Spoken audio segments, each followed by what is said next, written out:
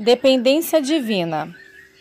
Espero que tenha entendido minha ênfase até este momento de aprender a confiar em Deus, mesmo na mais ligeira atividade espiritual.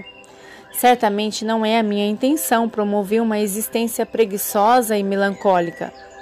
Nossa melhor maneira de agir é prosseguir numa total dependência do Espírito de Deus, porque nele vivemos e nos movemos e existimos. Atos capítulo 17, versículo 28.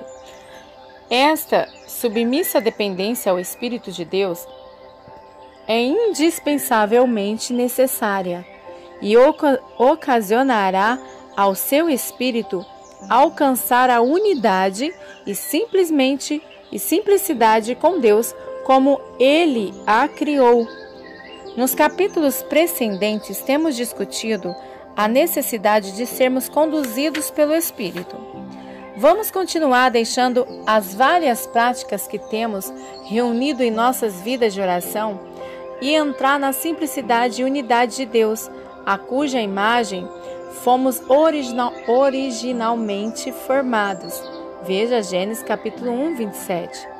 Entrar na união com Deus significa estar inteiramente unido ao seu Santo Espírito. Desta forma, temos um único, o único e mesmo Espírito com Ele. Sem qualquer esforço de nossa parte, somos então colocados numa posição para a vontade de Deus trabalhar totalmente dentro de nós. Oh, aleluia! Pense nisto. Quando estamos inteiramente influenciados pelo Espírito de Deus, que é infinitamente ativo, nossas fontes de energia realmente serão mais fortes, mais vibrantes do que qualquer coisa que pudéssemos iniciar dentro de nós mesmos. Renda-se à orientação de sua sabedoria, a sabedoria de Deus. Se algum de vós tem falta de sabedoria, peça a Deus. Tiago 1:5.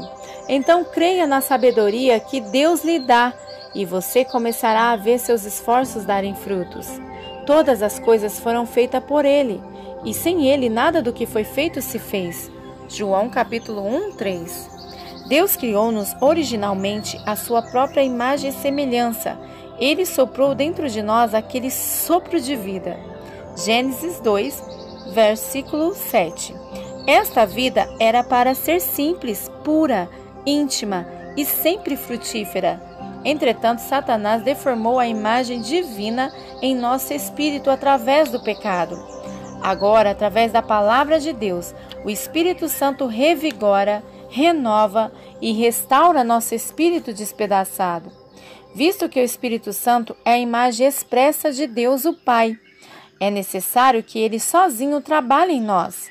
Sua imagem não poderia ser formada em nós pelo nosso próprio esforço. É por isso que devemos permanecer quietos na mão do artista. Coloque-se numa posição de quietude para receber de Deus.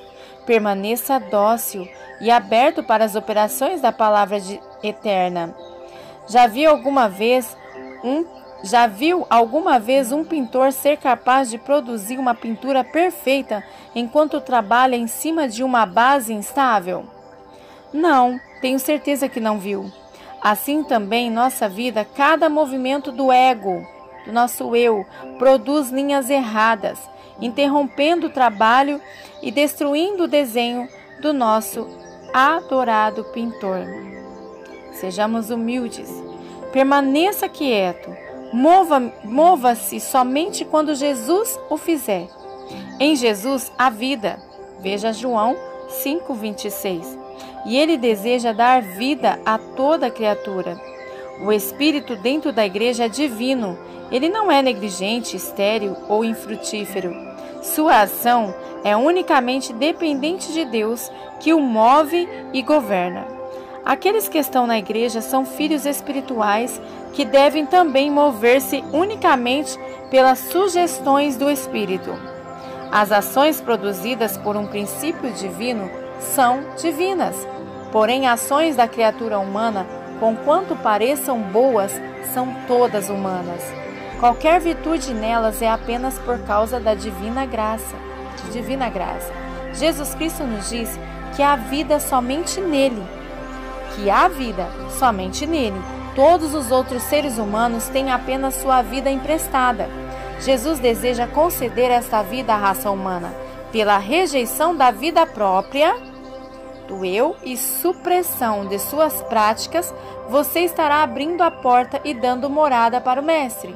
Assim que se alguém está em Cristo, nova criatura é. As coisas velhas já passaram, eis que tudo se fez novo. Segundo Coríntios capítulo 5, versículo 17. Você deseja que coisas velhas tornem-se novas?